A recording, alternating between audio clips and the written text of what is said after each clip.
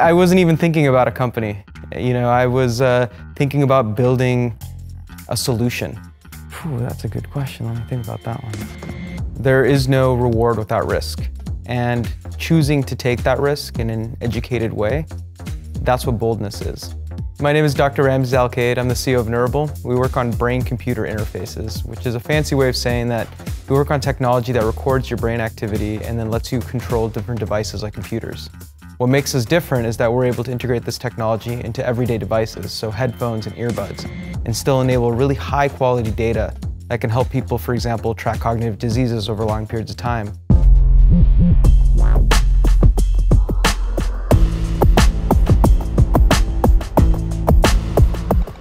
How's it going? Brain-computer interfaces are still in their infancy. They're still very niche devices that you typically need to use in a, in a laboratory setting. And so this is essentially the first step toward making it more democratized to make the technology more ubiquitous. And then as the technology evolves in that direction, I believe that we're going to start to have the right steps in place to help billions of people uh, around the world, not just those that are differently abled, but even everyday people as well too. So essentially what our technology enables us to do is to increase the sensitivity that we collect brain data from. Brain data is incredibly difficult to pick up in a non-surgical way. It's kind of like listening to people in a stadium talk from outside the stadium, right? If your brain is, is a stadium, right?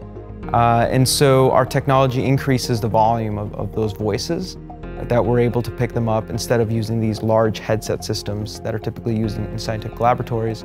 We can use essentially headphones or earbuds as the method of picking up that data and still maintain a very high quality brain signal that we are able to collect. My entrepreneurial story really starts when I was about eight years old. Uh, my uncle got into a, a trucking accident he lost both his legs.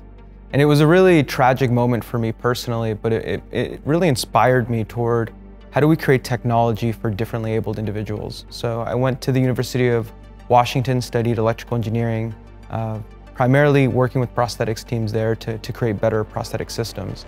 And I noticed that there was this big disconnect between the actual devices we were building in the brain. Uh, so I did my PhD at the University of Michigan in neuroscience, uh, starting to bridge that gap. And what I learned is there's individuals, for example, with ALS, individuals with uh, non-functioning autism, cerebral palsy, and even those types of individuals need significant evolutions in brain-computer interfaces as well too. And so that's what motivated me to spin this company out and really try to create everyday brain-computer interfaces. Uh, you know, when I was a, a small kid, one time I, really wanted this Nintendo system and my mom wouldn't buy it for me. And so I went to the neighbor who was selling one uh, for a quarter because it was broken. Uh, and I bought that one and, and, another broken one and I ended up fixing it and selling it uh, for about $10 at the time. I've always had these inclinations that were entrepreneurial. I never really thought of my, my, my own path that way, but it's something that uh, I guess, you know, is, is just part of who I naturally was. I knew that I wanted to study science. I knew that I loved mathematics and engineering. So that's where I thought my path was. But really, what I noticed is that whenever there's a specific need that gets in the way of solving this larger vision that I have toward creating a world where brain-computer interfaces are a part of everyday life, I've had to adapt the type of role that I've played. So that's why I started out as an engineer, I went to a scientist, and now I'm a CEO. It's not because I wanted to be a CEO, it's because that is what the mission demanded of me. I went from engineer to scientist. I went from somebody who, you know, did IT work to somebody who, you know, really enjoyed writing. Like these are all different evolutions. I, I, the brain is highly plastic, and I think that we should leverage the fact that uh, our brains are, are, so good at, at mixing information, of, of, trying new things. And we should be bold and step forward and, and, really try these new areas if it reaches the vision that we're trying to achieve. Uh, and I know that's a, maybe a fairly unique perspective. A lot of people think they go to college and then they get a job and then they might get a great idea and they want to build it. But that's just not how my life has, has evolved. I've, I've always had this core vision and it's just been a matter of what steps do I need to get there. I, I wasn't even thinking about a company. You know, I was uh, thinking about building a solution. We have fully working prototypes and our technology will be available to the public uh, in the next 12 months. There's, yeah, two core directions uh, that we're doing with this early version of the system. One is tracking cognitive biomarkers.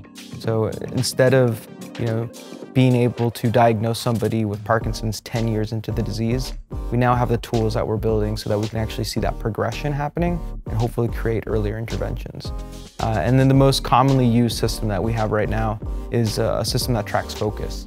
So as a person becomes tired, we can tell them to take a break so that they have more wellness hygiene. Uh, and that essentially helps prevent issues like burnout and depression. There is no reward without risk. And choosing to take that risk in an educated way, that's what boldness is. The only thing I'd say is uh, I want to give an infinite amount of gratefulness to my team. And I think only they'll understand this, but I'll say three, two, one, go Neurable!